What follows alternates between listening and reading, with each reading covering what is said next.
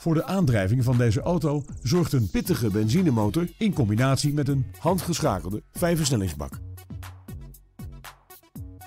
In het interieur zijn het onder meer een lederen stuur en versnellingspook en airconditioning die het rijden aangenaam maken.